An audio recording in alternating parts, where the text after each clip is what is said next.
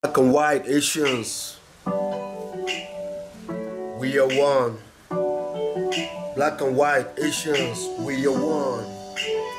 2022, I was posted to Cantonment Medical Center Ojo, where I met Konya Ibi Abukani, who requested sex from me and I refused. Ever since then, this man has been my nightmare in the army. This is one of the videos done by Private Ruth Ogunleye accusing Colonel I.B. Abdul Karim of several offenses, including sexual harassment, intimidation, and threat to life. Ogunleye, who served at the Cantonment Medical Center, Ojo, says she was stigmatized for refusing the officer's sexual advances. Ogunleye made the allegations in January 2024, but said the maltreatment had gone on for a while, as far back as 2022, unchecked by the Nigerian army. Eight months later, the Nigerian army says it has concluded investigations and found the military officer not guilty and Ogunleye mentally unstable. The investigation con concluded that Colonel I.B. Abdul Karim did not commit the offense of sexual harassment as alleged by ex-private Ruth Ogunleye. The findings were definitive and based on objective evaluation of the available information. The army says Private Ogunleye has also been discharged from the force after medical evaluations showed she had potential mental health concerns. The army has also shelved any disciplinary procedures that could have been brought against her based on medical recommendations and promised to pay some benefits which it says Ogunle isn't qualified for. Further to this, ladies and gentlemen, though ex-private Ruth did not serve up to pensionable years of service, which is 10 years, she has nonetheless been discharged from the Nigerian Army with 50% disability claim, meaning she will receive a 50% monthly pension for life.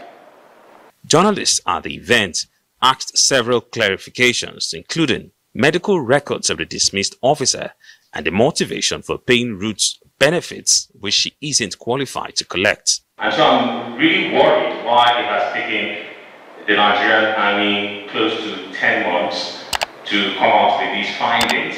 In response, the army refused to show evidence that Ogunleye is medically unstable due to legal reasons, but referred journalists to the National Hospital where the examinations were conducted. Medical inconfidence makes it impossible for you to bring the document and say, this is her medical report from the hospital. We can't do that. It's against the ethics of the profession. Meanwhile, Ruth Ogunleye has continued her social media campaign. She criticizes the army's investigation and says her discharge is an injustice. The army promised to do investigation. At the end of the day, I was spotted out without my consent. Why? What did I do wrong? What did I do wrong? Issues of sexual harassment, gender-based violence and human rights abuses are often reported in the military despite several measures taken to address them. This girl will not lie to a senior officer in Nigerian army. Nigerian army, they don't take shit, you know. If you fucked up, you are dismissed, you know, understand?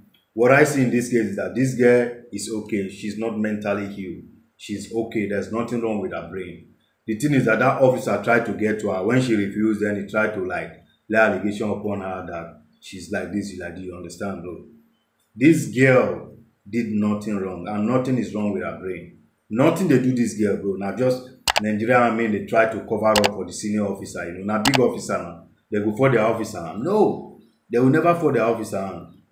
For real. They no go for the officer hand. Because they know thing they happen. They know, they go don't call the officer say Alpha, tell us the truth, and but make you know be like say Kurtu. Just new, I mean, girl wey never reach anything go come come make you lose your job. We go put everything for her head, she go dis we go dismiss her talk say na lie she lie to you say her mental normally una go show they have the at least they should show us the proof that she's mentally healed you know fifty percent mentally healed so that people the public the public go understand wetin dey happen understand? You are coming here talking thing you can't show proof if she's mentally ill but wetin make me happy be say they will be paying her pension you know until she died so that one is okay at least she's earning some salary. If she get work also she dey get two salary as well so which is good for her you understand? But i know this this case is just forming this is just they know she's saying the truth. Wetin be your opinion? Drop it in the comment section. Black and white Asians, we are one. Black and white Asians, we are one.